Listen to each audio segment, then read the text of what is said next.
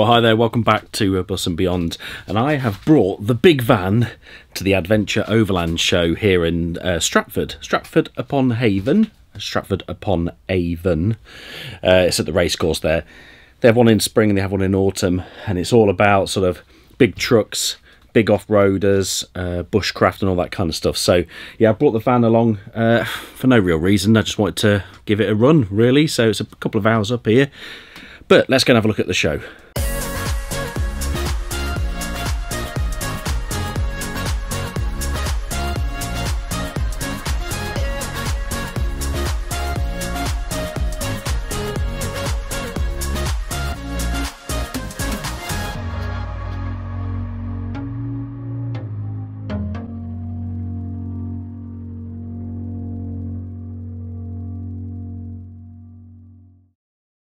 I'm putting these uh, these tyres to good use here. It is only two-wheel drive, but the tyres should help a bit at least. And I've got my wellies on because they've had tons of rain here over the past couple of days. So you might be able to watch me get towed out here later.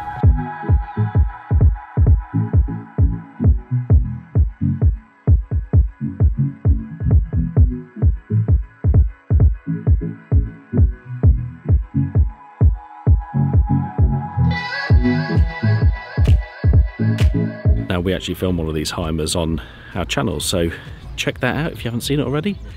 All off-road 4x4 lift kit, the lot. Very capable camper van.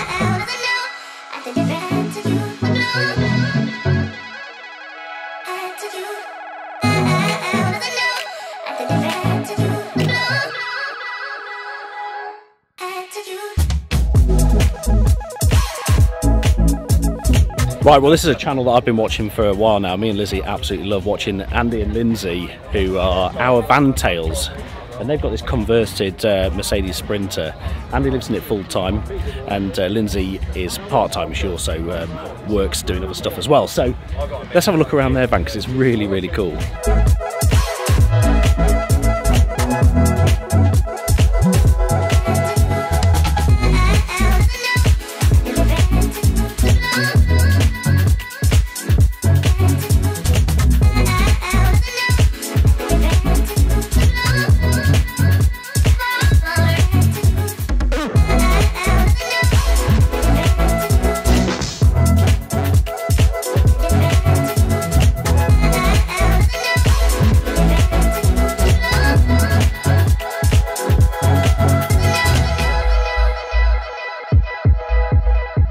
Fancy a fire engine? This one is for sale.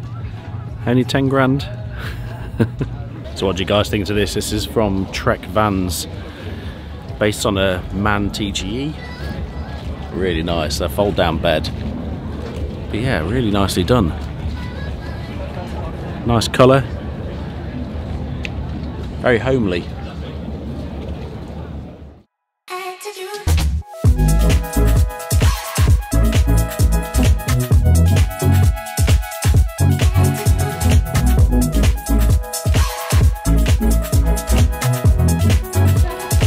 Guessing this thing's amphibious looking at the propeller in the back there.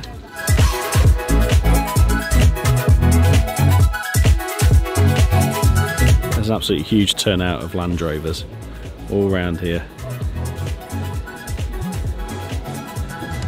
And then I love this old one here, that's so cool. It's in really good condition. Yeah, the sun's out now. I'm sure this mud will dry dry off.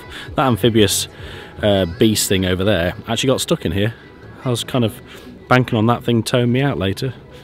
Maybe not.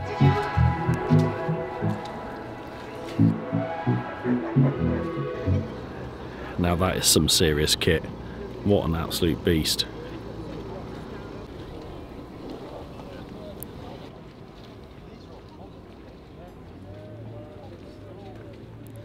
Look where the spare wheels stored.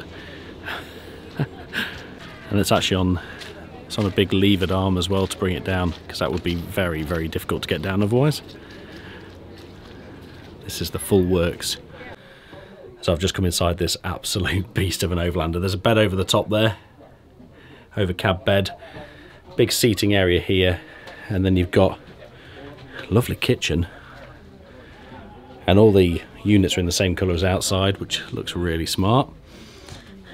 And then, yeah, look at this. It's huge in here. It's massive. You've got a washroom, I'm guessing, in here. Yep, nice big washroom with a shower. Nice. Got to be so careful in here because the amount of mud that's around. I do not want to get mud everywhere. A mirror. And then, yeah, that's your big double bed as well at the back. Very nice indeed. This is an absolute go anywhere beast. There's not many vans when you step out the door, you're actually above the awning. That's mad.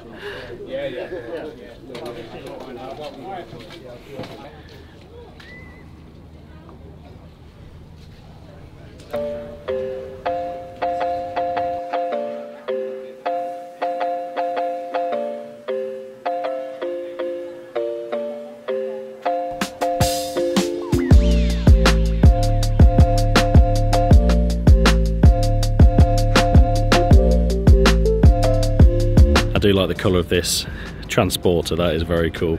That is actually a factory colour as well. Very nice.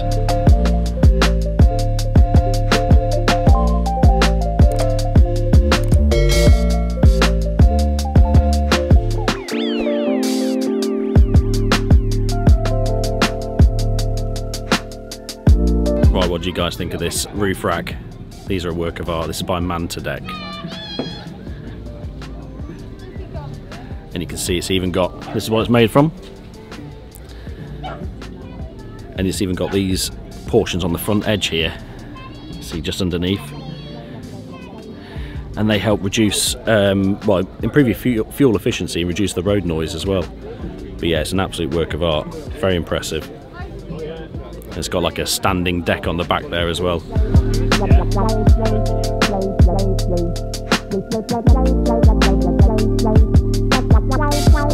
mud is so thick I'm definitely getting towed out of this place it is everywhere I think it was like this last time I came here as well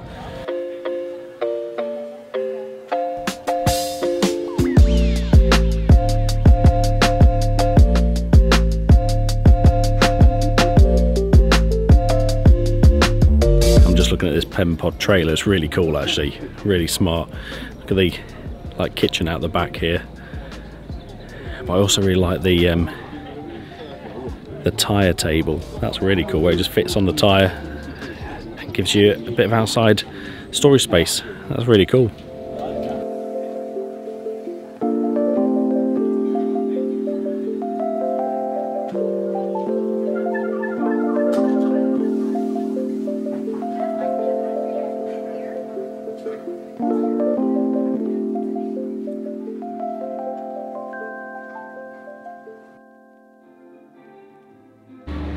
The actual food options here are pretty good. There's Thai food, Greek food, fish and chips, standard, burgers, standard, and there's also currywurst and bratwurst, loads of options. Hmm, decisions, decisions. I went with Greek.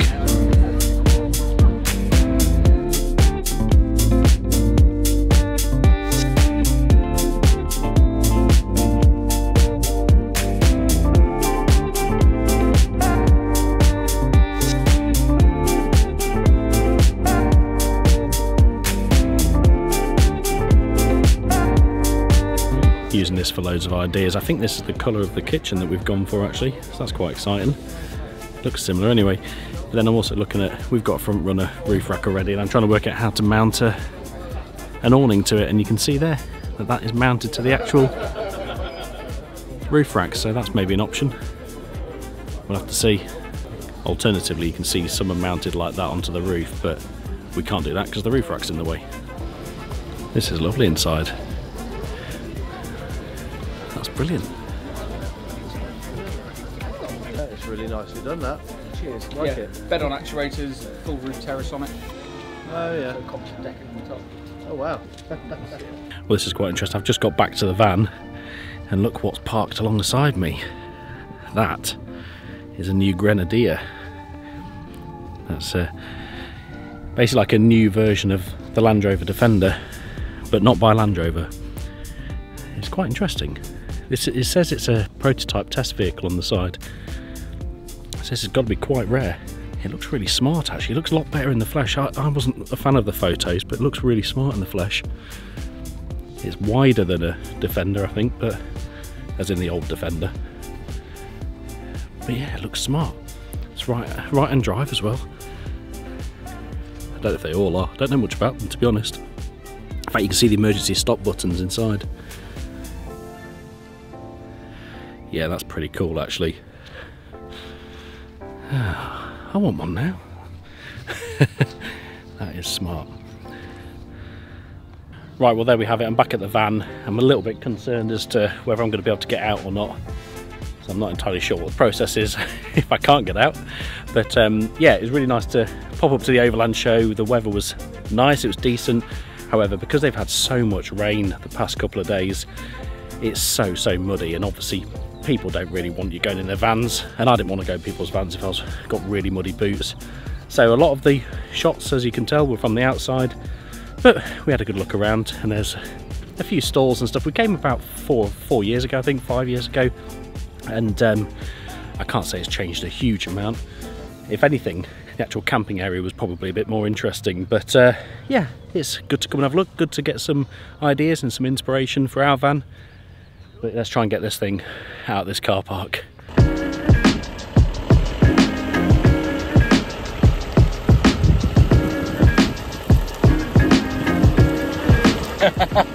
oh, don't cheer yet. well, do I dare say? I think I think I'm out. Although I've got to. Don't pull out in front of me. Yeah, someone just pulled out in front of me, so I've lost the momentum. Oh well, at least they can tow me out if I need to. if I need it. We made it out.